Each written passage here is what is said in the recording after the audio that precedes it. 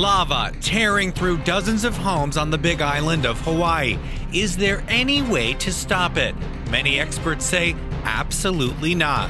A NASA researcher tells USA Today the lava is about 2,000 degrees, so using water would be useless. The expert adds building a ditch or diverting the lava flow could work, but in this case, it's too costly and too dangerous. Experts in Hawaii say the best solution is to evacuate and wait until the volcano stops flowing.